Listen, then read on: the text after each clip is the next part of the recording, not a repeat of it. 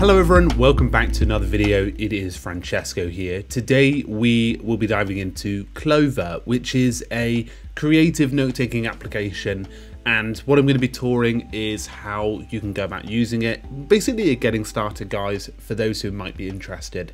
Now this is really best suited for those who are more creatively led because Clover has this feature that where you can create documents, but you can also create something called surfaces. And surfaces are basically like canvases where you can sketch ideas, bring wireframes to life, even brainstorms and things like that. So I wanted to do a video about how to get started. We just finished releasing the Clover Made Simple course, which you can get for free below, as well as all the other Tool Academy classes.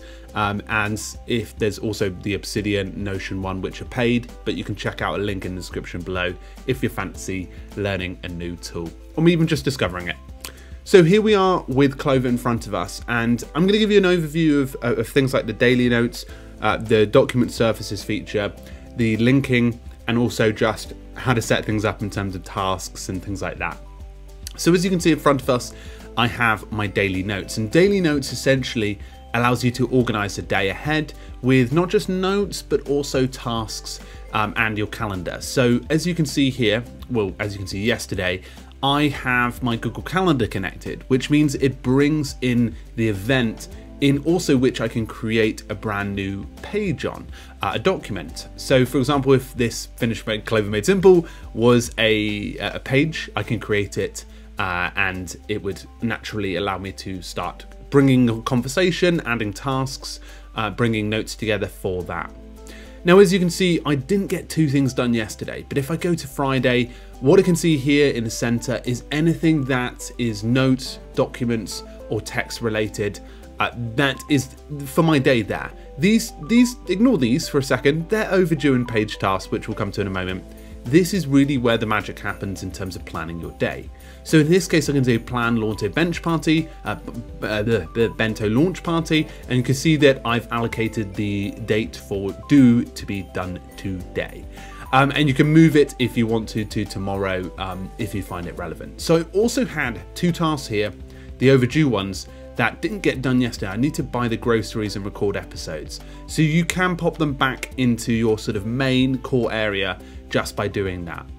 And any tasks um, that are associated to a page. So for example, um, I've you know got these uh, Bento design ones that are due January 4th. Well, they basically live inside of the page task. So if I go into the page, um, this is what a document looks like. And documents are, are very easy to sort of um, get started with, you press the slash command, much like you would in most other applications, and start getting rolling. So it's very simple in terms of being able to create to-dos um, and be able to type out a document. You can even use some of the rich media elements like images, YouTube, um, and even connect a surface. So documents are, are pretty handy. And then top right hand corner, you have a handy function called tasks, where you can see your to-do, done, and cancelled tasks for that page.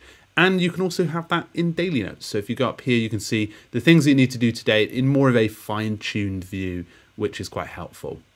Now, there's obviously a lot of conversation probably saying to me, Francesco, how, how do I go about doing a journal? Well, you could start typing away down here. Um, I actually created a journal, and this is actually an episode of the course, but yeah, here you go. So I've given it a date of January the 3rd, and as you can see, everything comes and piles in. So I can I can type away my journal down here as a brand new page.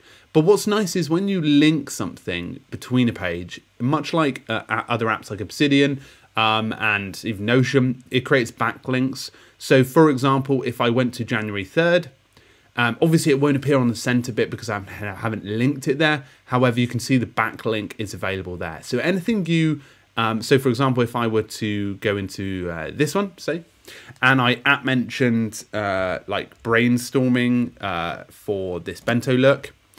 Uh, and I click into the bento uh, brainstorming one, you can see the backlink has been created between them.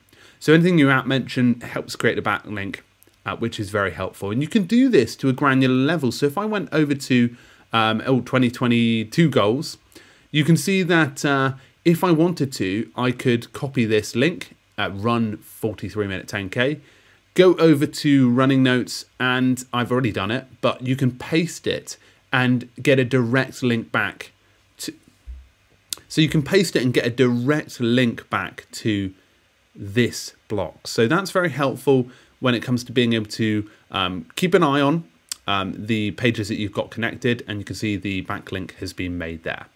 So backlinks are quite helpful just to build that sort of relationships up. Um, I'm going to go back to daily notes. In the premium, we've also got inbox and uh, labels as well if you want to. Um, and as you can imagine, let's have a little look at the premium pricing. Uh, it is per month $7.50, unlimited guests, unlimited blocks, um, inbox and labels, uh, full text search as well. So as you can imagine, uh, introductory pricing, but something uh, you can check out if you want those unlimited blocks. For start, you get a thousand blocks, up to three guests and 50 meg upload.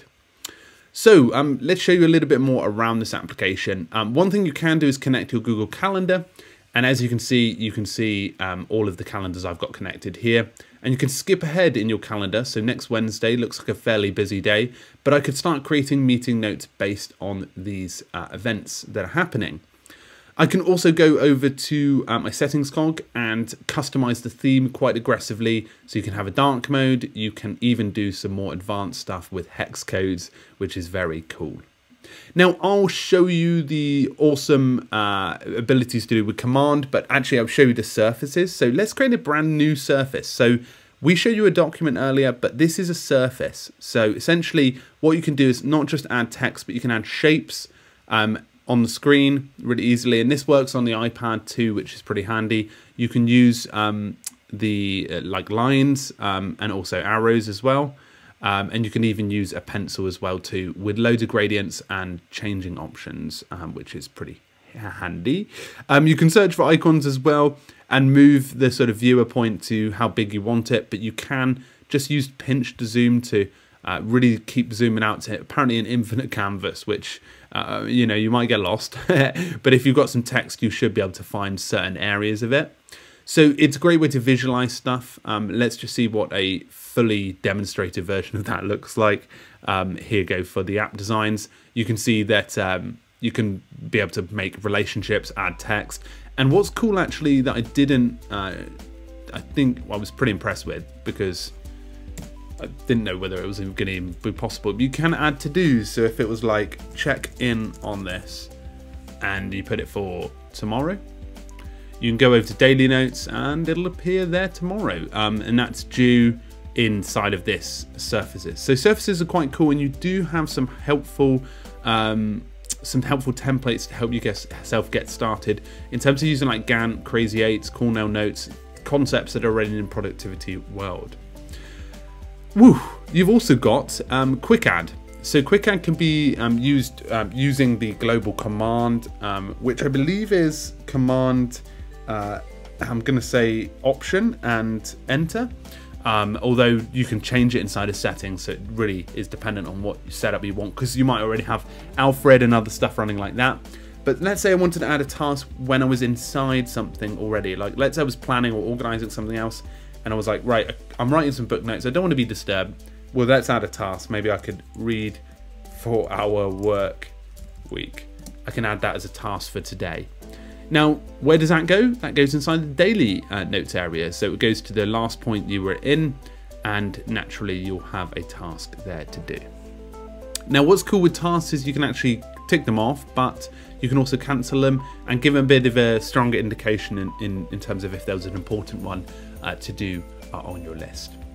I think I sped through that really fast. Uh, but that is a overview of how um, Clover works. Um, you can check out the Clover Made Simple course. It's got 15 lessons which you can dive into. Uh, it's free to download as well, or free to stream or check out uh, on Tool Academy. Um, a big thank you for stopping by today. Hopefully you found this video useful. Feel free to comment below um, and ask any questions. We'll try and jump on them uh, best we can. Anyway, folks, big thank you, and I'll see you very soon. Cheerio.